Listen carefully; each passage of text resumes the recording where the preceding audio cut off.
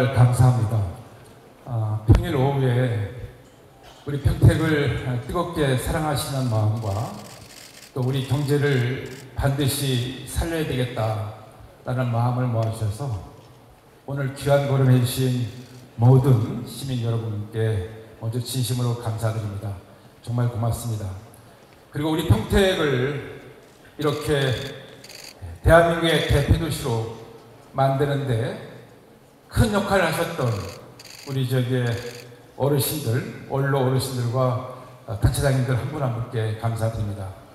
평택은 지금 대한민국에서 가장 집중적인 조명을 받고 있는 자랑스러운 지역입니다.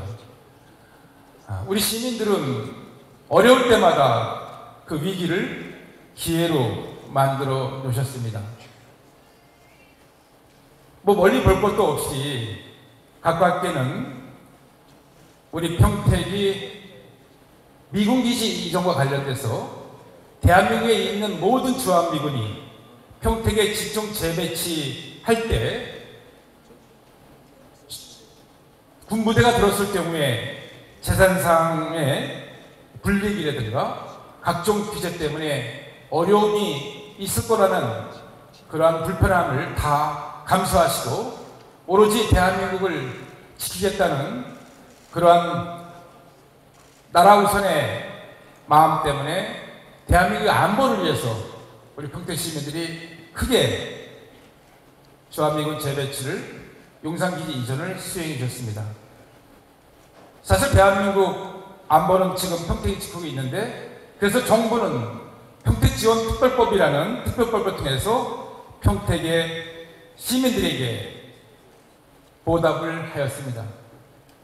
지금 우리 평택의 산업단지가 들어서고 대학이 들어설 수 있는 이유는 바로 이 평택지원특별법이라는 우리 지역에 보벌 지도가 있었기 때문에 가능한 일입니다. 이만큼 우리 평택 시민들은 어떻게 보면 그런 위기를 기회로 만들어내신 정말 저력 있는 시민들이십니다. 또한 10여 년 전에는 쌍용 자동차, 우리 평택의 대표적인 향토 기업인 쌍용 자동차가 극심한 노사 분규가 있을 때 우리 시민들은 우리 쌍용 자동차를 살리기 위해서 힘과 또 마음을 모아주셨습니다. 쌍용차 살리기 운동본부를 만들어서 쌍용 자동차에서 생산되는 체험엔 무쏘 이런 것을 전국에 판매를 하셨고 우리 지역에서 생산되는 쌍용 자동차 세일을 다 앞장서서 해주셨습니다. 그래서 쌍용 자동차가 지금 정상화돼서 티골리는 자동차는 품귀 현상이 일어날 정도로 잘 지금 회사가 운영되고 있습니다. 또 가깝게는 평택항 경계 조정시 그 메리츠와 관련돼서 충청도에서 사실 합리적이지 못한 주장 때문에 또 일부 잘못된 결정 때문에 우리 평택에 당연히 귀속되어야 될 평택항 메리츠가 일부 충청도에 간 적이 있지만 또 이것을 우리 시민 모두가 힘을 모아서 평택항 되찾기 운동본부를 만들어서 다시 되찾아 왔습니다. 이것은 이 자리에 계신 우리 지역의 원로 어르신 그리고 이 자리에 계신 우리 평택을 이끄시는 모든 지도자분 한 분 한 분과 시민 여러분들의 힘과 마음이 모아져서 이뤄낸 표본라고 생각합니다. 그러한 토대에 의해서 이제 지난달에 드디어 평택이 인구 50만 시대를 열어가기 시작했습니다. 인구가 늘어난다는 것은 그 지역에 일자리가 있든지 교육적인 환경이 좋든지 무슨 이유가 있어서 인구가 늘어나고 있는 것입니다. 이 자리에 삼성전자 임원님들도 와 계시지만 우리 평택은 대한민국이 배출한 세계적인 최일류 기업인 삼성과 LG가 선택하고 투자하는 대한민국의 미래를 이끌어가는 경제 중심 성장 엔진 도시라고 해도 전혀 손색이 없는 그러한 도시입니다. 거기에다 이제 용산 기지가 이전됨에 따라서 한미연합사가 우리 지역에 주둔함으로써 북한의 무력 도발을 억제하고 한반도의 평화를 지키고 유지시켜 나가면서 동북아의 평화까지 감당하고 있는 아주 중요한 안보적인 기능을 가지고 있습니다.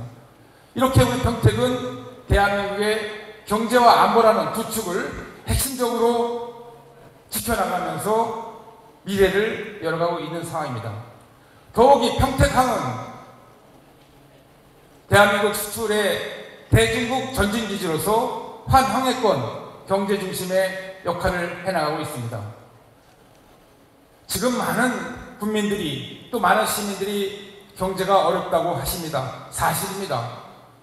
그렇지만 경제도 희망이 있고 자신감이 있으면 다시 저는 반드시 살아날 수 있다고 생각합니다.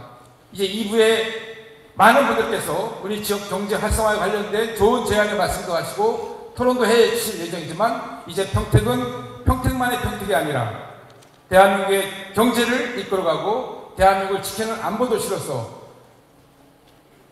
경기도와 대한민국의 미래를 활짝 열어갈 수 있는 그러한 희망을 가지고 있는 도시입니다. 저는 지역구 국회의원으로서 진정으로 우리 시민 여러분께 감사한 마음 가지고 있습니다.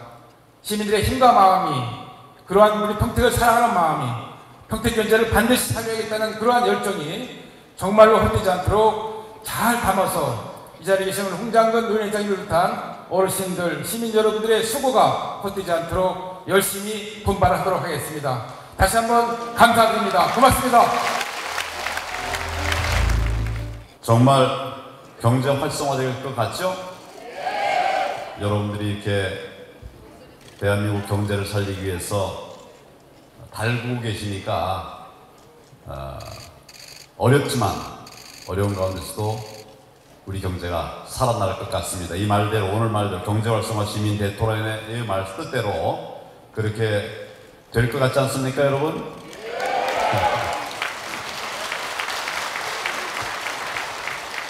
예, 오늘 평택의 주민 여러분 그리고 당원 동지 여러분 만나 뵙게 돼서 반갑습니다.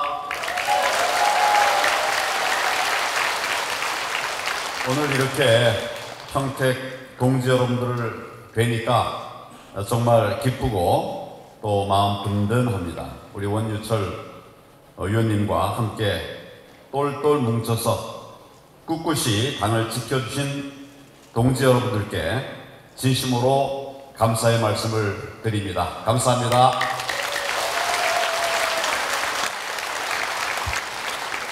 우리 원유철 의원님은 뭐 더 말할 필요가 없죠. 우리 자유한국당 중심을 잡아주는 든든한 기둥과 같은 분입니다. 오늘 사모님도 뵀는데 에, 정말 부부가 저렇게 멋질 수 있나 그런 생각이 드네요.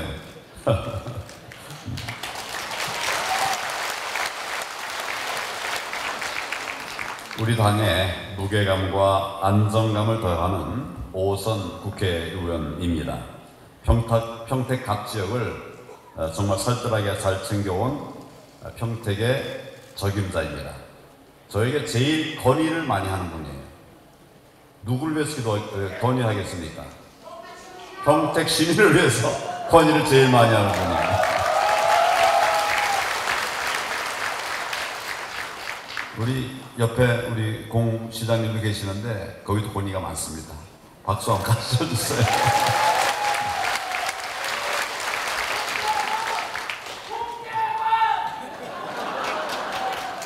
지금 우리 당 북핵 외교안보 특위 위원장을 맡고 계시는데 문재인 정권의 안보 실정에 대해서 어, 하나하나 챙겨가면서 어, 우리 대안을 만들어가고 있습니다. 그런 소식 못 들으셨죠? 네, 우리 당의 어, 안보 대안 지금 우리 원유철 어, 위원님이 중심이 돼가지고 만들어가고 있습니다. 경제는 경제대로 경제 실정을 폭로하고 경제 대안을 지금 만들어가고 있고 안보는 안보대로 안보 실정 이 문재인 정권의 안보 실정을 어, 낱낱이 국민 앞에 고발해 가면서 그 대안 안보 대안을 지금 만들어 가고 있습니다. 굉장히 어려운 일인데 우리 어, 원유철 의원님과 당 내외의 의원님들 또 위원장님 전문가들이 함께 안보 실정 백서와 또 그에 대한 안보 대안을 지금 만들어 가고 있다는 점을 다시 한번 말씀을 드립니다. 북한의 동력선이 150km 넘게 우리 영해를 항해해서 삼척항에 정박하고 상륙할 때까지 해군도 몰랐고 해경도 몰랐고 육군도 몰랐습니다. 이래도 되는 겁니까, 여러분?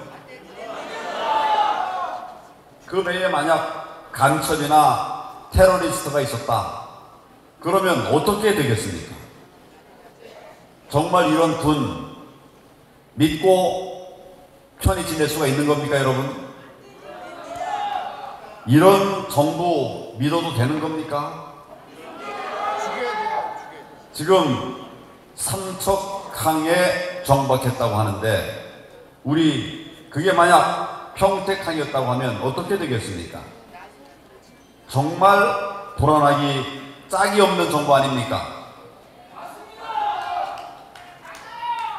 그래 놓고는 사실을 은폐하고 거짓말만 늘어놓고 있습니다. 우리 영해에 들어온 지 5일이 지나서야 발견된 지 5일이 지나서야 국방장관이 사과를 했습니다. 이게 장관 사과로 끝날 일이겠습니까? 장관을 비롯한 해양 경계 책임자들을 다 파면해야 하지 않겠습니까, 여러분?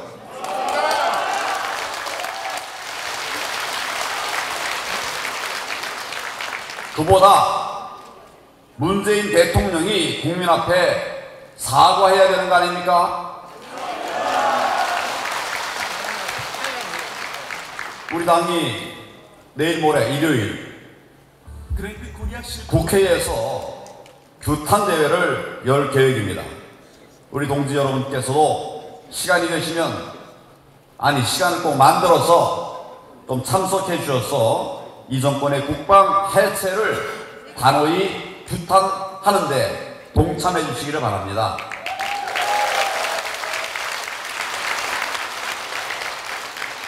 그렇게 안보는 물론이고 우리 경제도 지금 최악의 위기에 빠져 있습니다.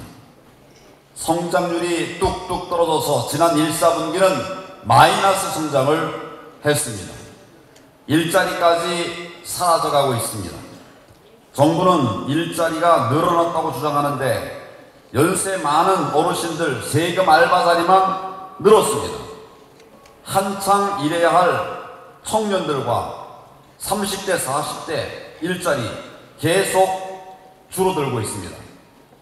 자영업자, 소상공인들이 줄줄이 폐업하고 있습니다.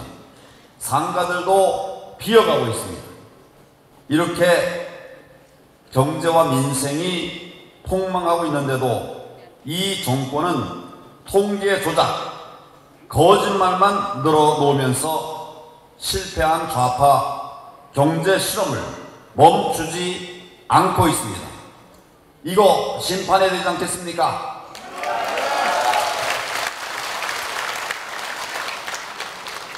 우리 평택을 돌아보면 평택은 세계 최대, 규모, 최대 규모의 삼성 반도체 공장, LG 쌍용 자동차가 자리 잡고 있는 우리 경제의 견인차 역할을 해온 곳입니다.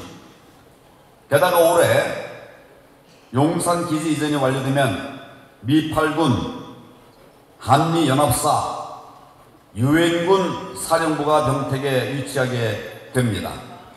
대한민국 안보를 지키는 핵심 도시가 될 것입니다.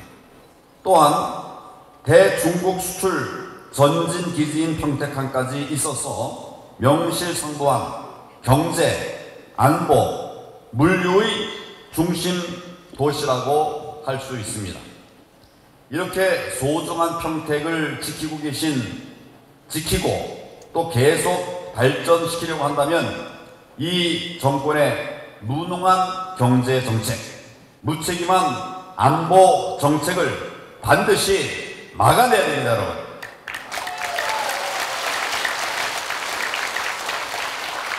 그러려면 내년 총선이 중요합니다. 우리 당이 다음 총선에서 압승을 거두고 제1야당이 제1당이 돼야만 이 정권이 폭주를 하는 것을 막아낼 수가 있습니다. 여러분, 힘 모아서 그렇게 해 가시겠습니까?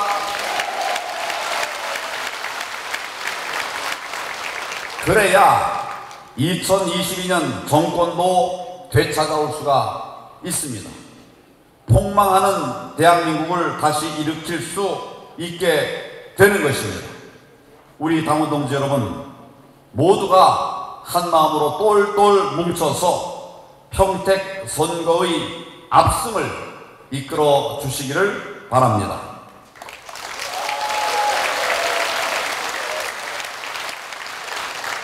지금 언론에서는 자유한국당에 많은 문제가 있는 것처럼 보도가 되고 있습니다. 뭐 개파 분쟁이 생기고 뭐 누가 탈당하고 뭐 어떠고 저떠고 말 많은데 어느 나라 한국당인지 모르겠어요. 우리 대한민국 가- 자유한국당에는 지금 개파 싸움 없습니다. 들어보셨습니까 요즘? 언론에 보도가 되는 것 외에 이 당 안에 우리 당 안에서는 개파 싸움 없습니다. 그리고 발전을 위한 미래를 준비하면서 총선을 이길 수 있도록 발전을 위한 노력들을 곳곳에서 하고 있어요.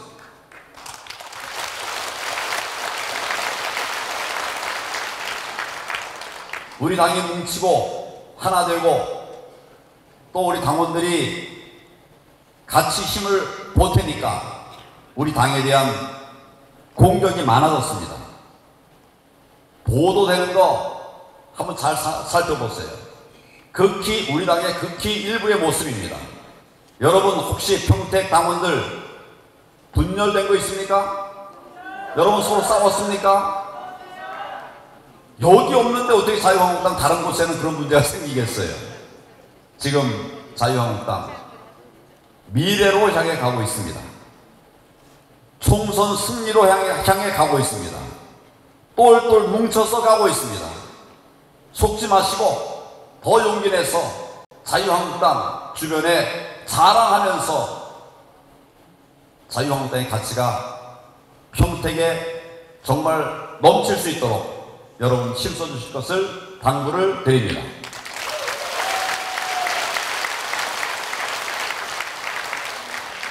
진짜 강한 군대는 무기가 좋은 군대가 아니라고 합니다. 병사 한 사람 한 사람이 강한 군대가 될 수 있습니다. 무기가 아니라 사람입니다. 당원이 중요합니다. 우리 당이 지금 투쟁에서 승리하고 내년 총선에서 압승을 거두기 위해서는 우리 당원 동지 여러분 한분한 분이 소중합니다. 여러분들이 역량을 키워서 큰 힘을 만들어 내야 합니다.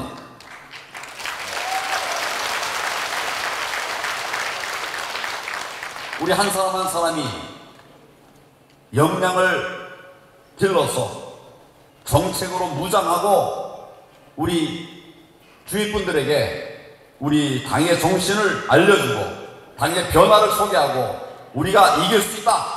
같이 힘을 내보자고 권하면 그 힘을 통해서 우리가 이길 수 있는 것입니다. 우리 리더들만 현장을 뛸 것이 아니라 우리 당원 모두가 한 마음으로 현장을 뛰면서 국민들의 마음속으로 들어가서 국민들의 마음을 얻는 그 일을 한다면 이런 것들이 모여서 우리 반드시 총선에서 이기리라고 생각합니다. 함께 해 주시기 바랍니다.